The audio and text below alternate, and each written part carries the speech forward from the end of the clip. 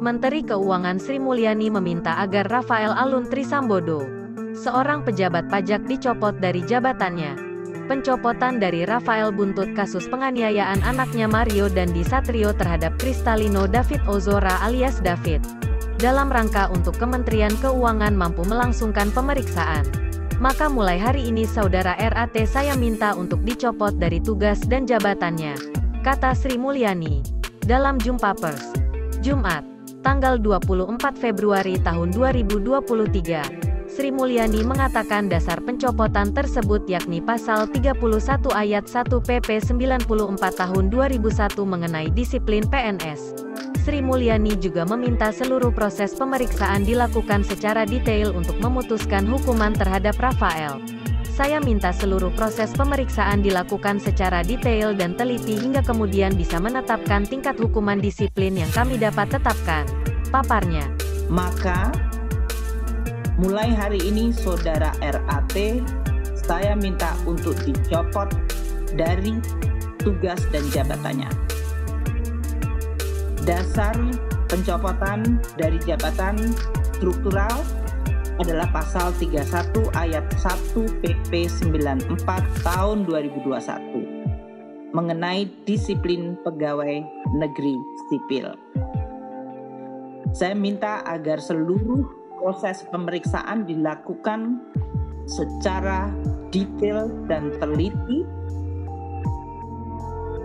hingga kemudian bisa menetapkan tingkat hukuman disiplin yang kami dapat tetapkan.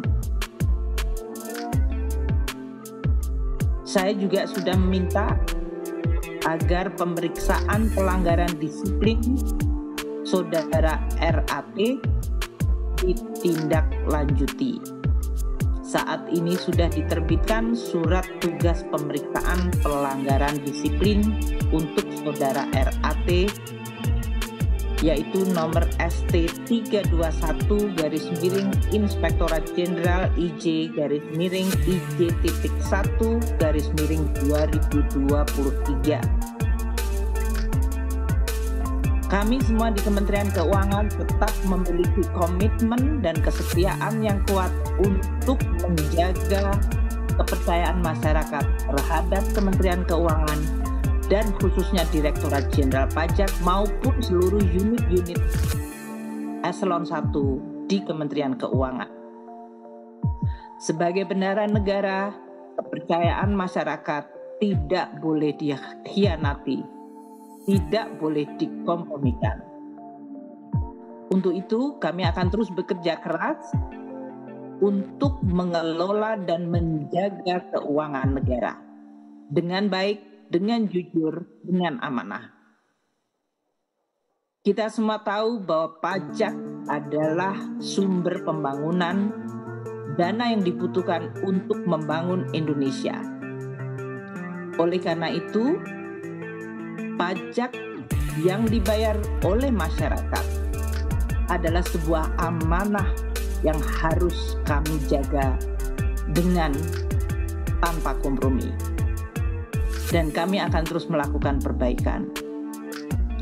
Saya berterima kasih kepada seluruh masyarakat, pelaku ekonomi yang telah membayar pajak dengan patuh. Yang Anda lakukan adalah sebuah wujud komitmen untuk membangun Indonesia. Dan oleh karena itu, yang telah Anda bayarkan harus kita jaga dengan sepenuhnya tidak boleh dikhianati, tidak boleh dicuri, dan tidak boleh disalahgunakan. Kami akan terus meminta dukungan masyarakat untuk menjaga Kementerian Keuangan, menjaga unit-unit Kementerian Keuangan, agar kami dapat mewujudkan tugas tanggung jawab secara amanah, dapat dipercaya, dan akan terus menjaga integritas dan profesionalitas.